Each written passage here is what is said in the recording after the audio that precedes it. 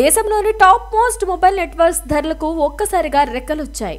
పెరిగిన రిలయన్స్ జియో భారతీ ఎయిర్టెల్ రీఛార్జ్ ధరలు రేపటి నుంచి అందుబాటులోకి రానున్నాయి. జియో తన టారిఫ్ని పన్నెండు నుంచి ఇరవై ఐదు శాతం వరకు పెంచగా ఎయిర్టెల్ ఏకంగా పదకొండు నుంచి ఇరవై ఒక్క శాతం వరకు పెంచింది.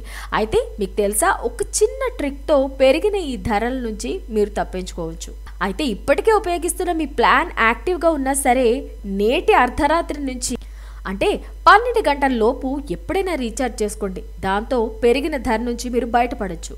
జియో ఎయిర్టెల్ సబ్స్క్రైబర్లకు ముందుగానే రీఛార్జ్ చేసుకునే ఆప్షన్ ఉంటుంది. మిగిలిన నెట్వర్క్కి మాత్రం ఈ ఆప్షన్ అనేది ఉండదు అని గుర్తుపెట్టుకోండి. జియో సబ్స్క్రైబర్స్ ఏ ప్లాన్ తోటైనా రీఛార్జ్ చేసుకోవచ్చు. ఎయిర్టెల్ కస్టమర్స్ మాత్రం ప్రస్తుతం యాక్టివ్గా ఉన్న ప్లాన్ తోటే రీఛార్జ్ చేసుకోవాలి. ప్రస్తుతం ఈ ప్లాన్ గడువు ముగిసిన వెంటనే కొత్త ప్లాన్ యాక్టివేట్ అవుతుంది.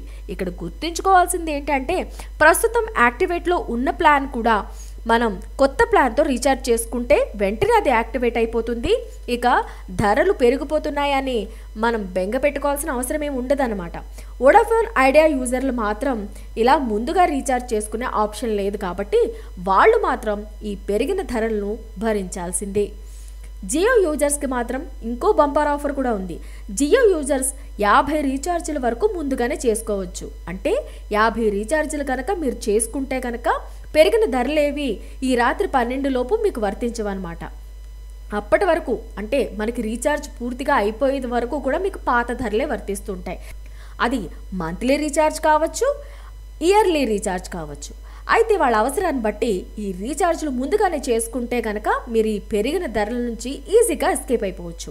అయితే ఎయిర్టెల్లో మాత్రం ఇలా ఒకేసారి ఇన్ని రీఛార్జీలు చేసుకునే అవకాశం ఉందా లేదా అనే దాని మీద సరైన క్లారిటీ లేదు. కాబట్టి మీరు కస్టమర్ కేర్ని సంప్రదించి మీ డౌట్ని కనుక క్లియర్ చేసుకుంటే ఈ ఆప్షన్ మీకు అందుబాటులో ఉంటే మీరు లక్కీ అవ్వచ్చు.